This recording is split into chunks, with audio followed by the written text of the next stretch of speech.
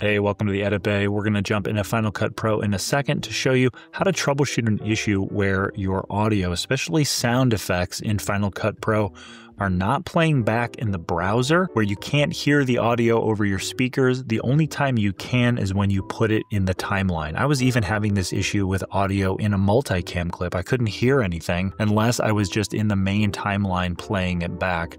It really made me scratch my head, but I did some digging on the internet and found a solution. I want to share all of that with you. So let's jump in here to Final Cut Pro and start going through the process. I've got an older video uh, that I made a couple weeks ago all about this 20 year old G Drive hard drive that I set up in my photo editing workstation. And you can see I've got all of these sound effects here and different sound uh, sound sources, dialogue, audio, music, all of that stuff.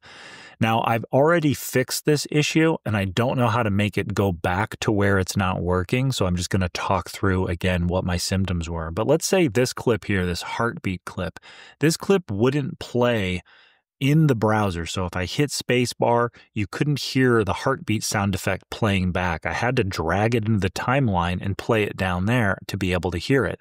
The only other thing I could do is in the audio inspector, switch the pan mode to stereo left and right, and then I could hear it. Now on some of these clips like this one, I could click here over where it says mono and choose left or right, and then I could hear it back. But if it stayed in mono, I couldn't hear anything again unless I put it down into the timeline. Then I did some troubleshooting online, found the solution, and the thing that fixed this issue for me, totally random and weird, I went to Spotlight and chose Audio MIDI Setup, open this application, and now my setup is a little more complex than the average user. Many people have a Mac Studio or a Mac Mini, and maybe they have some external speakers plugged in, and that's about it. Or maybe they edit with headphones. I have like a sound mixing thing and kind of an elaborate audio setup where I use software to route audio signals to different places, and it, that could have been what caused this issue. But the troubleshooting steps I found said you want to click on your audio output device, which for me is this X18, XR18 device, and then choose configure speakers. And then all you have to do is change it from stereo to something else like 5.1, and then change it back, hit apply, and then click done. And once you've done that, then everything will start working in the browser again, especially with mono clips. The issue seems to be isolated to mono audio.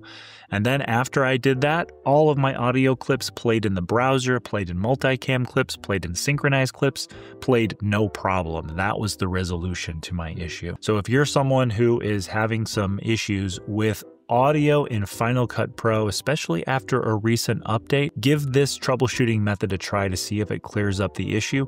If you're still having issues, drop a comment down in the description and let me know. If I can, I'll try to point you in the right direction to get some help for overcoming those issues and getting back to chopping broccoli the way that you want to in Final Cut Pro. That's it for this video. Real simple, quick fix for mono audio not playing back in the browser. Hopefully you're back up and running like I am and ready to get back to work. Until the next video, I'll see you soon. Don't forget, keep chopping that broccoli.